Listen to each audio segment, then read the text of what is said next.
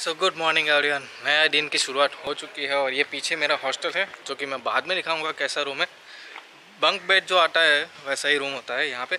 और यहाँ पे रहने का फ़ायदा एक ही है कि काफ़ी लोगों से आप मिलते हो, काफ़ी नई नई जानकारियाँ मिलती है और अपना टाइम अच्छी तरीके से पास हो जाता है। तो सोलो ट्रैवल जब भी कर रहे हो ना तो ये हॉस्टल वाला सिस्टम सबसे बेस्ट है।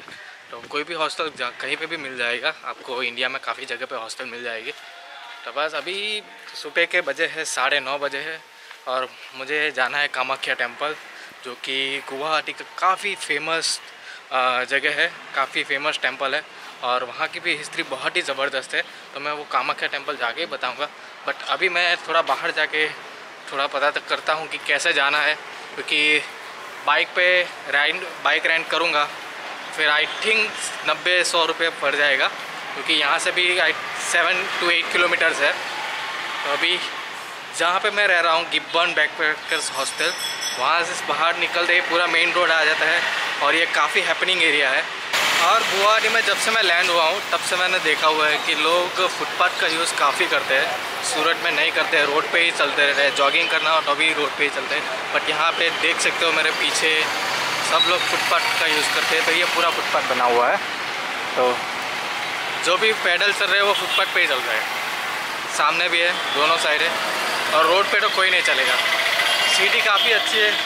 काफ़ी रेस्टोरेंट्स है, ये रही रेस्टोरेंट और जैसे ही बाहर निकला, ये रहा रिलायंस फ्रेंड्स या, काफ़ी कुछ मिल जाता है।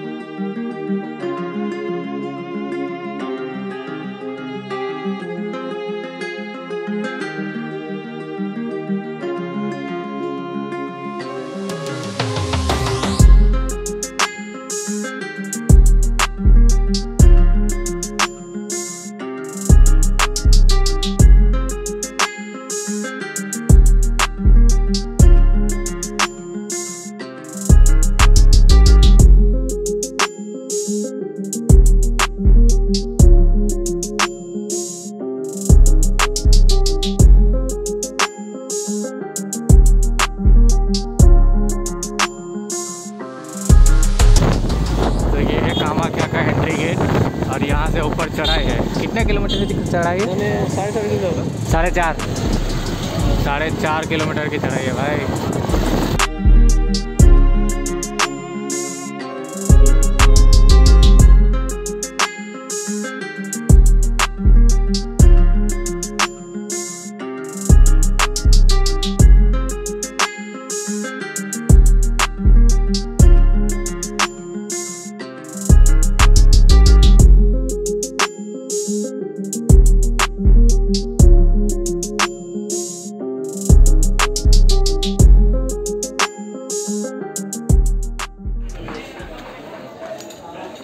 अभी मैं आ चुका हूँ कामाख्या टेंपल ये और ये कामाख्या की पूरी मार्केट है।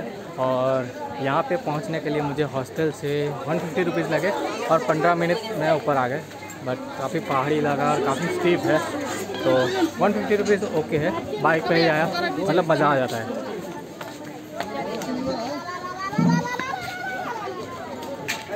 तो कामाख्या जी के दर्शन मेरे हो चुके हैं, बहुत ही अच्छे दर्शन हुए और काफ़ी नज़दीक से हुए। वैसे जो अंदर, और अंदर गर्भगृह के पास एकदम नज़दीक से दर्शन करना और तो काफ़ी लंबी लाइन है।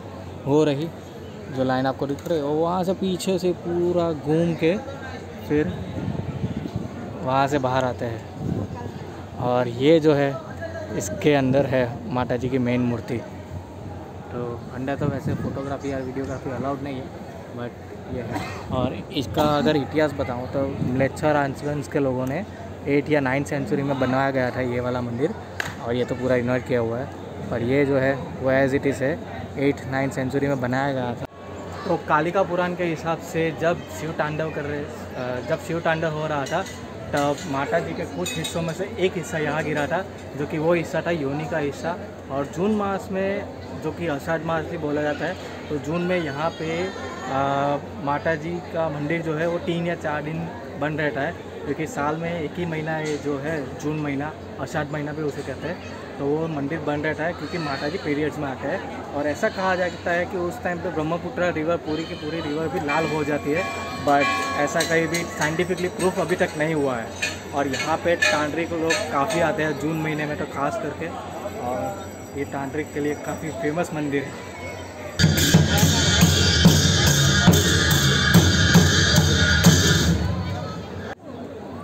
इस जगह बलि चढ़ाई जाती है और वहाँ पे कई सारे बकरे हैं। गर्मी में खाने के बाद एसी में आके बैठने के बाद, ये वाला डोमिनोज का बर्गर पिज़्ज़ा मेरा फेवरेट है। अब ये खा रहा हूँ भाई, जो सुकून वाले महसूस हो रहे हैं। बहुत अच्छा। तो पिछले तीन चार घंटों से मैं एडिटिंग कर रहा था वीडियो और मैं आपको अपना हॉस्टल दिखाना चाहता हूँ, जो कि गिब्बॉन बैकपैकर्स हॉस्टल है। और ये रहा पूरा का पूरा हॉस्टल, यहाँ से एंट्री है। तो कार पार्किंग भी, कार पार्किंग भी मिल जाती है यहाँ पे। और ये टेबल टेनिस का टेबल है, जो कि कोई काम का नहीं है।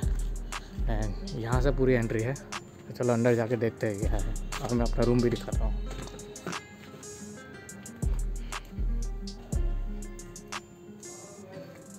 This is common area and अभी लाइट गई हुई है। तो फिर कुछ नहीं हो सकता। ये एक रूम है द किचन और यहाँ पे सब लोग बैठते हैं।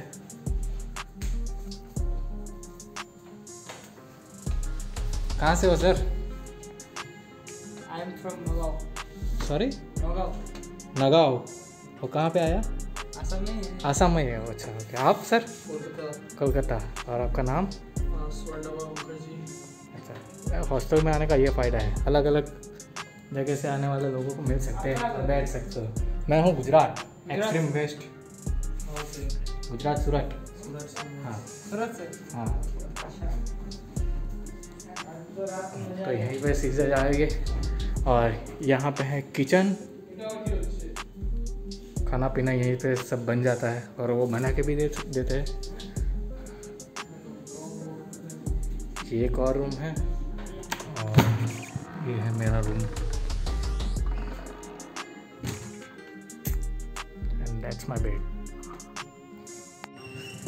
तो ये था हॉस्टल और हॉस्टल का कल्चर ही यही है कि उसमें बंक बेड होते हैं या फिर एक ही रूम में चार लोग छः लोग आठ लोग पंद्रह लोग ऐसा लोग रहते हैं और शायद बाथरूम यूज़ करते हैं। ऐसा कल्चर ही है ये हॉस्टल का। और काफ़ी सस्ता पड़ता है। तीन सौ चार सौ पाँच सौ रुपये पर नाइट में मिल जाता है।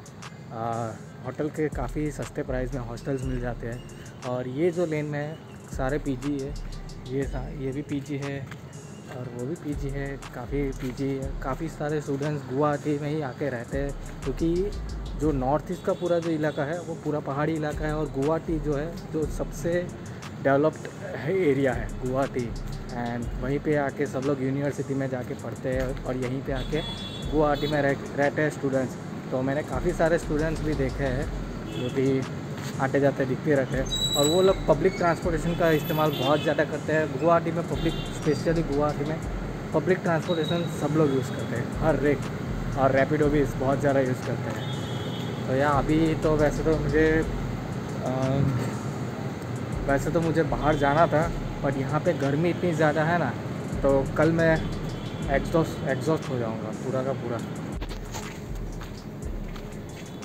तो गुवाहाटी के लोगों से मुझे मालूम चला है कि यहाँ पे उतना कुछ घूमने लायक जगह है नहीं। जो घूमने लायक जगह थी, वो है ब्रह्मपुत्र रिवर कामाख्या मंदिर। और स्पेशली मैं कामाख्या मंदिर के लिए यहाँ पे रुका हूँ। एंड यहाँ पे और जो म्यूज़ियम्स है, उसके मुझे कुछ उतना है नहीं। बट देखते हैं आगे। वैसे तो मैं नहीं जाने वाला हूँ। बट नेचर्स के साथ ज़्यादा रिलेट कर पाता हूँ। और मुझे सीनरी दिखाना बहुत अच्छा लगता है। तो इसीलिए मैं सब ये सीनरी दिखा रहा हूँ। अभी ये मेरा पीछे हॉस्टल है। एंड यहाँ से चलते चलते जा रहा हूँ। बस ऐसे ही।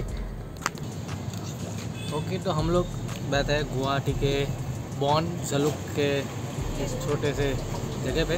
और fried rice and chicken taste काफ़ी बढ़िया है, काफ़ी अच्छा है, मज़ा आ गया भाई। और हमारे साथ बैठे हैं आसिफ जी, जो कि आसाम से ही है। और स्टूडेंट है। गुवाहाटी आ रहे हो तो इस जगह पे ज़रूर खाना खाना। फ्राई आइटम मिलेगी। फ्राइड राइस, फ्राइड चिकन, बहुत ही अच्छी मिलती है। ये रही शॉप और बहुत ही बढ़िया खाना था।